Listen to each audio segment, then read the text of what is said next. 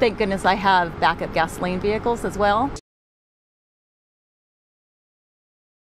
Those who drive electric cars might be noticing uh, you're not going as far as you thought you would. You have an EV. Yeah, we have an electric vehicle, and this time of year, uh, you lose about 20. I was talking to my husband about this last night. You lose about 20% of, of your charge.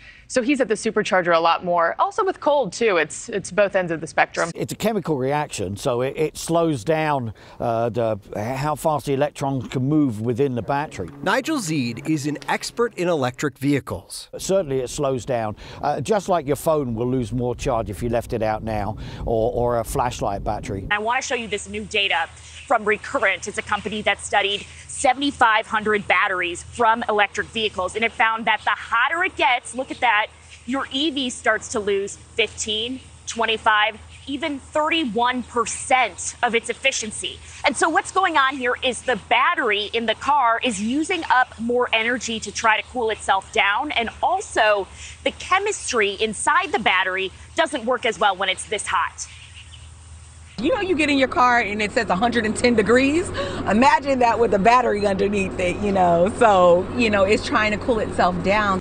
When the weather is hot, the car is still going to work for the most part. It's just not going to work as efficiently or for as long as maybe you had planned. Now, if you didn't know that and didn't read the owner's manual or didn't do research, I think some buyers could be upset by that. You know, if you're driving over 200 miles a week, this starts to become a huge problem. And clearly, uh, people, you know, of, of, there's millions that don't live inside of cities, particularly after the pandemic, are realizing EVs are not ready. They're not ready for prime time rural.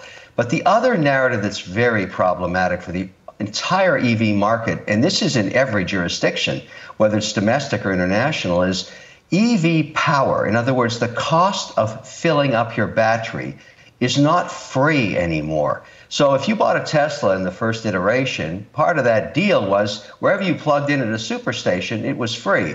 That's not the case anymore. When you plug it into your house, your electrical bill goes up. Where does this power come from? Are people starting to ask that every day now? Well, it comes from burning gas and hydrocarbons and even coal. That's right. And so this narrative between EV and green is falling apart a little bit.